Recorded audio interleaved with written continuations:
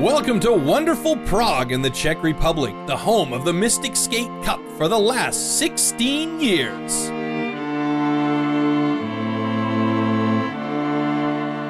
Today, we'll check out the street finals for you. My name is Rodolfo Ramos. I'm from Florianopolis, Brazil. I'm 26 years old. Love, if you love like what you do, so you're gonna do good. So let's find out how much Ramos really loves to skate. The younger brother of former X Games park and street medalist Wagner Ramos is a skateboard icon in Brazil. Gugu, as he is nicknamed, is an all around skater who excels in every part of the course and lands consistently hard tricks. Rodolfo began competing in 2000 and was the number one skater on the World Cup skateboarding ranking list in 2008 and second in 2009. Martin Pek is one of the four local riders competing in the final, but he was a little shattered, so he couldn't really show his full potential today.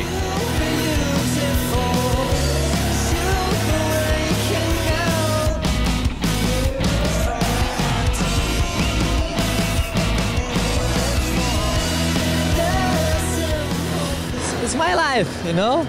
Because my job, my everything. 26 year old Daniel Vieira from Curitiba is an absolute regular at the Mystic Cup and basically always makes it into the final.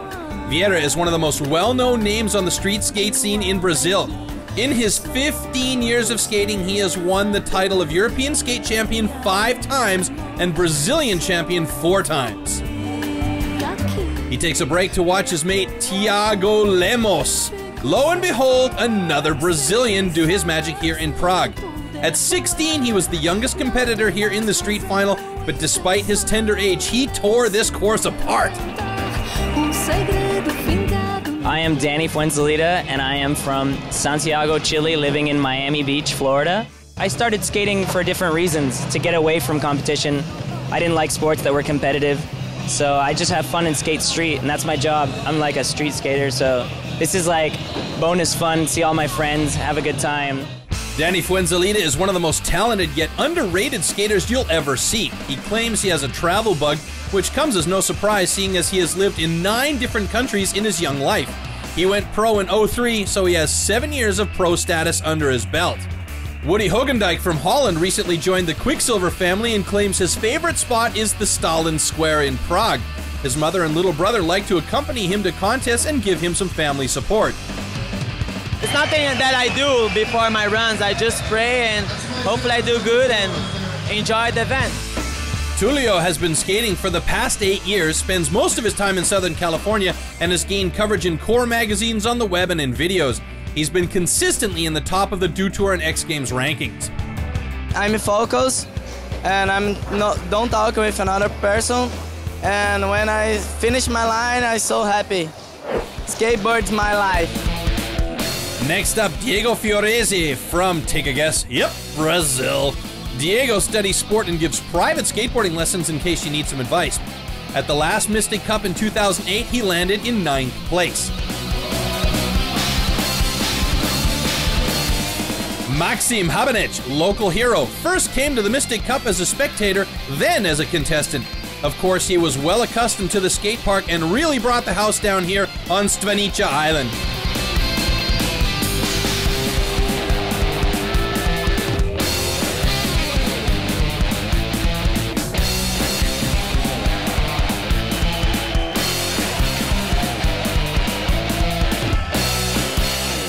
My name is Rodil Jr. I have 32 years old. I'm from Brazil. I talk with my God every time. So Brazilian numero siete, Rodil Jr., also a frequent flyer at the Mystic Cup, was ready to release his repertoire. He actually won here in 2004 and like Vieira, always lands himself in a comfy spot within the top ranking.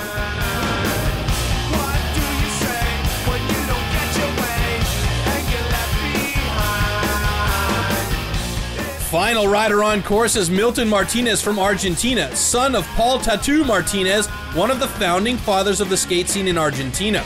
Martinez took second place at the Latin X Games in 2008, and although he had a broken wrist, he landed in eighth place at the Mystic Cup last year. At the end of his run, he releases a real jewel from his trick treasure chest. Amazing, and everybody freaks out.